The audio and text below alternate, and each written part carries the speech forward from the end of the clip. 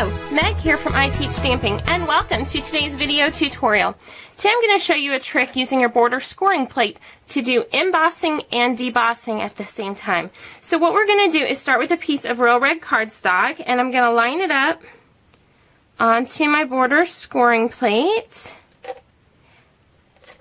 And I've got repositionable adhesive on this cardstock. Then you're going to want your top piece and make sure that it's facing the right way. So just line it up and make sure that everything is good and lined up. And then all you have to do is go through and trace everything. Okay, finish that one out. Okay, now we're going to take this off. We're going to take this lift it up, and then I'm going to drop it back down in place. So I'm lining it back up. Still got repositionable adhesive. And now I'm going to go through and do the circle dots. And actually, I'm going to use the broad tip for this rather than the fine tip. Okay.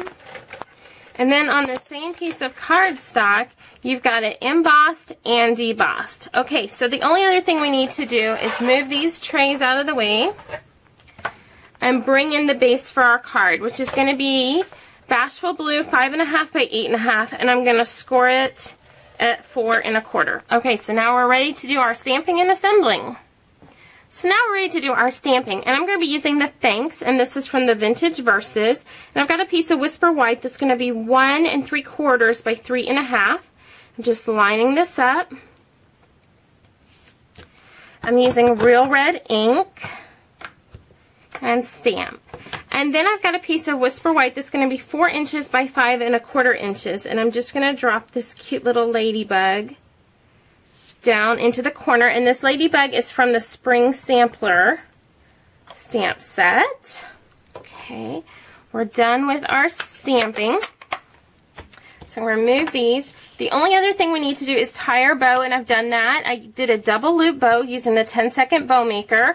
When you buy the bow maker, it gives you a link so that you get videos on how to do all the extra cool bows like this cute little double loop one. Okay, scoot that out of the way and let's do some assembling. So I've got a piece of Bashful Blue that's going to be 1 and 7 eighths by 3 and 5 eighths. I'm going to drop our thanks right on top of that and that's going to layer onto our cute little real red layer. Like so. And make sure you've got all your repositionable adhesive where it's not showing. Alright, then let's bring in the front, the card base. So our little ladybug is going to drop into the middle inside of our card just to add a cute little element there. And I'm going to add a piece of crumb cake that's going to be 4 inches by 5 and a quarter inches. And I ran it through the Perfect Polka Dots embossing folder on the Big Shot. I want my dimensionals for this layer here.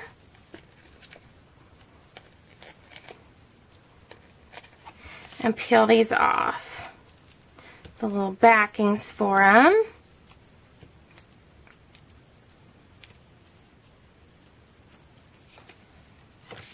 And just drop this into the middle of our card a mini glue dot for our bow